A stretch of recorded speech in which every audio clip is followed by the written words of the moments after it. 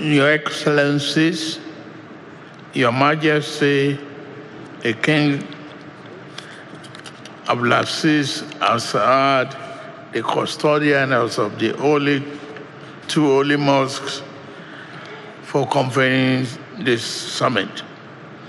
I thank the Crown Prince and Prime Minister of the Kingdom.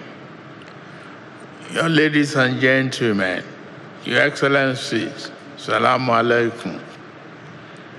It is with profound sense of duty that I call before you as we work to end the Israeli Palestinian conflict and realize the two state solution. This is urgent and very urgent. Conflict in Palestinian homeland has persisted for too long, inflicting immeasurable suffering on countless lives.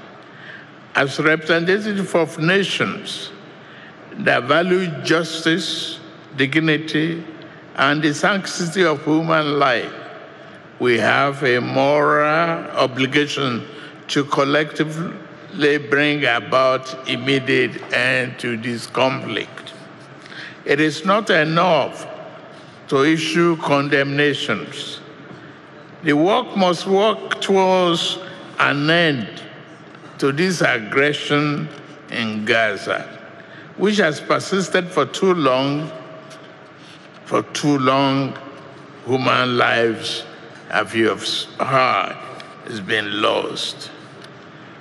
No security concern should come at the expense of many innocent lives.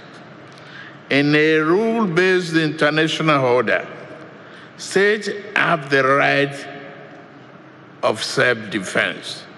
But self-defense must take opportunity, proportionality into account in line with global legal, diplomatic, and moral framework. An entire civilian population in their dreams and futures cannot be dismissed as collateral. Your Excellencies, Your Royal Majesties, the two-state solution stands as a beacon of hope. I agree.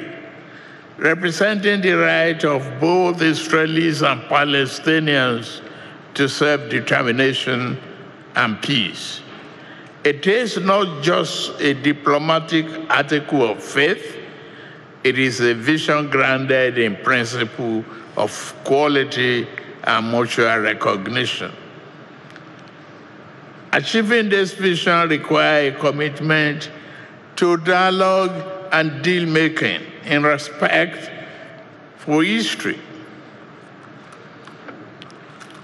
We know this conflict did not begin in October 2023. It can only be resolved through principled compromise based on appreciation of proper of the proper context. The conflict in the security of history is so visceral that the ripples of this division spar, spread far and quickly.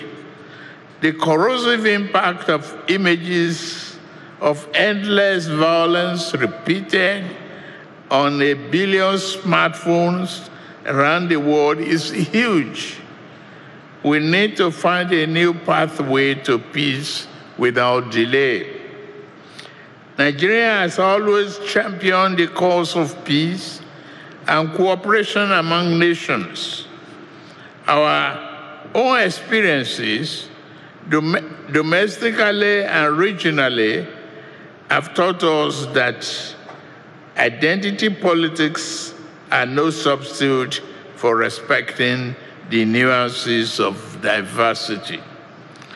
The path to reconciliation may be fraught with challenges, but it is through honest conversation and deal making that we can foster understanding. The international community has the opportunity to bear the new resolution. Your Highnesses, let us forget the human cost of this conflict. We must prioritize the voices of the families torn apart. The children who grow up in fear and the communities that for long rescue for, for stability. It is our responsibility to advocate for their rights, build a future where their dreams are no longer stifled by nightmare. I call upon all of us to come together in solidarity, to stand firm in our resolve, and to work towards peaceful coexistence, free from fear and violence.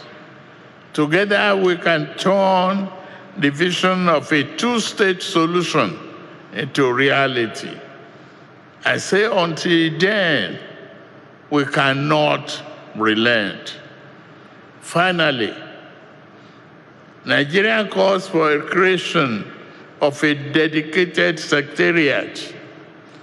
Thank you, Our Royal Majesty.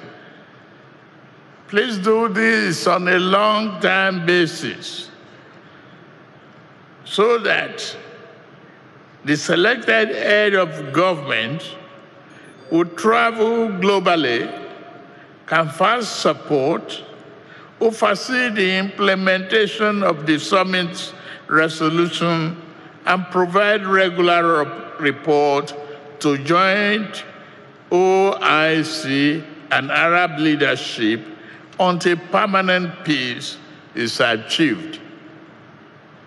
So I submit. I thank you all for listening. Salam alaikum.